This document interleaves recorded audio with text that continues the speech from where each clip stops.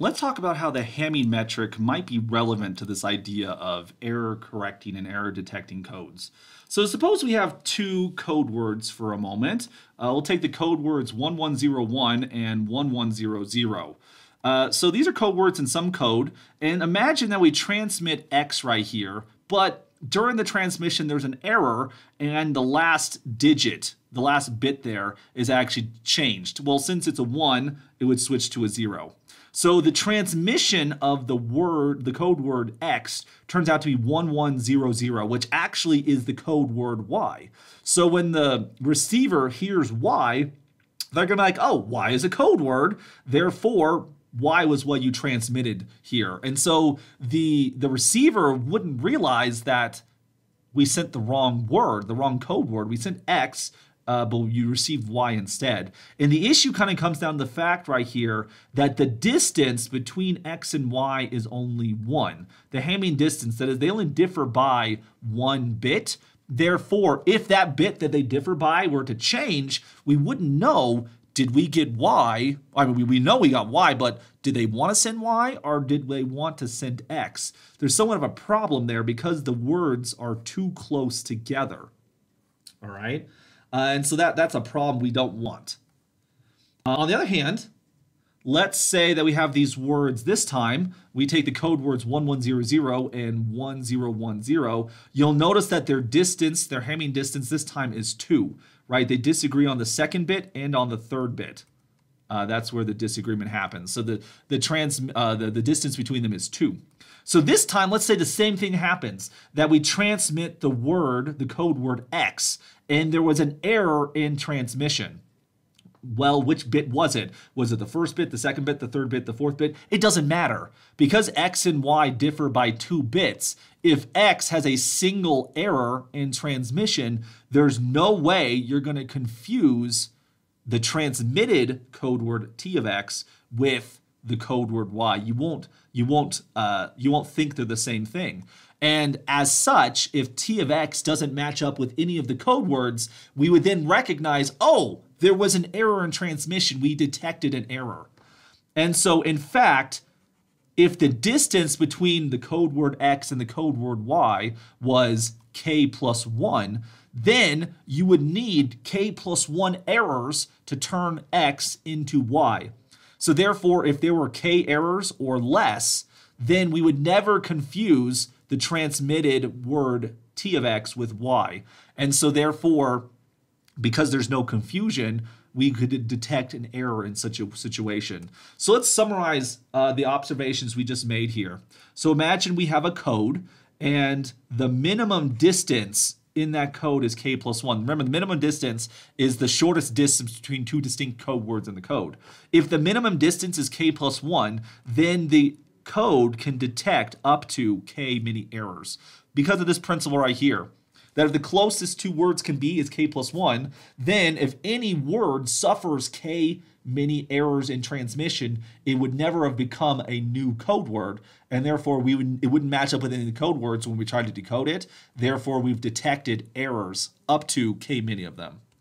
Let's talk about error correction in fact. This also will have to do with distance here so given that the Hamming metric actually gives us a distance function, this is a real McCoy distance function from topology, it makes sense to ask what is the closest code word to the binary message. So when we detect we, we detect a message like, oh, this received message we have isn't in our code. It's not a code word.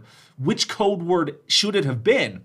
Well, the idea is we could ask, what's the closest code word to the received transmission. That probably was the word that was supposed to be sent. So we can identify the correct word as the closest word to the transmission that we received. So let's see, this would be an undefined if the binary message was midpoint between code words. So like if you're halfway between two code words, we couldn't decide what it is. But let's say the distance between two code words, X and Y, is 2L plus 1. And so then if T of X is transmitted with less than L plus 1, that means we then know, so like we have X over here, we have y over here. It's like every time there's an error, it's like you're taking a step from x towards something else. Take a step, take a step, take a step, all the way. Eventually, if you have too many errors, you'll turn into L. But, or turn into y, excuse me. Well, if there's a halfway mark, right? So you have L over here and L over here. If you have fewer than L plus one many errors, then you're over here somewhere and it's like, oh, X was the word we came from. Of course, if you have too many errors, you might think Y was where we came from. So we don't want like that. But the point is, we can detect up to L many errors and correct them if this distance is less than 2L plus 1. And so summarizing what we're trying to see right here is if we have a code, we have a code for which the minimum distance is 2L plus 1, we could detect up to 2L many errors, but we can actually correct up to L many errors. So let me show you what this might look like. So consider the following table, which is going to represent a code. This kind of looks like a Cayley table where we're thinking of the distance, because after all, the distance is a function which takes in two operands. You have the one on the left, the one on the right. Um, because distance is a symmetric function, this will be a symmetric uh, table, right? Kind of the same thing we saw with abelian groups. It's not exactly a Cayley table uh, because the distance function is not actually a binary operation. A binary operation should go from x cross x to itself again, right? Um, the codomain should be these things right here. But for a distance function, this is always going to be the real number. So it's not exactly a binary operation, but the but the analog of a Cayley table does make sense right here. So when you see this right here, so you have 0, 1, 0, 1, and then 1, 0, 0, 1, you're supposed to interpret this number right here as the distance between the two for which case they differ on the first bit, they differ on the second bit, but these two words agree on the third and fourth bit. So the distance between them is the following. So this, this table represents the code uh, in play right here. So these are these code words are four bits. Don't worry about the encoding process right here. Just worry about this code right here, this four-bit code.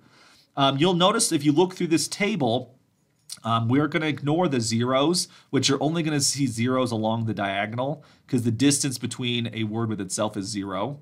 So ignoring the zeros, what's the smallest distance? I definitely see a two. As you kind of scan through you do see some see some fours, but that's it. You only see twos and fours. And so this tells us that the minimum distance between any two words is going to be two. The minimum distance of this this of this code is two. What does this tell us? Well, if we decompose two, 2 looks like 1 plus 1. It also looks like it also looks like 2 times 1. Uh, in particular, it's going to look like 2. So, so we're trying to break this up as like a k plus 1, uh, which of course is going to be 1 plus 1. This tells us that k equals 1. Our code can detect up to one error. On the other hand, 2 is going to look like 2 uh, it's going to look like 2 times um, k in this case plus 1 since it's an even number. If it was an odd number, that's when we worry about the 2L plus 1. I should be using L right here. 2L plus 1 since it's since it's an even number. And so that's going to have to be in this situation since it's 2 times 1, L is going to be 0. So this code cannot correct any errors, but it can detect accurately up to one error, for which we can then request a retransmission. Uh, and then as a second example, uh, the following table, it's a it's it's you're gonna have four code words here, and that's one thing I do want to mention here. That if you count your code words, one, two, three, four, five, six, seven, eight, eight here, which is two cubed. That's where eight comes from. So these things have four bits. But since there's eight words, we can actually encode three bits of information. So this is an example of a 4-3 block code. Um, in this situation, we're to have five bits but when you actually count the words, one, two, three, four, that's two to the uh, two squared is equal to four. So this is an example of a 5-2 block code. Um, let's look at its minimum distance. You'll see that the minimum distance very quickly is 3. So since the minimum distance is 3, 3 looks like k plus 1. That looks like 2 plus 1. So this thing can detect up to 2 errors. Um, but also 3 is equal to 2l plus 1 which is going to look like 2 times 1 plus 1. So this code is actually an error correcting code up to one error it can correct and two errors it can detect.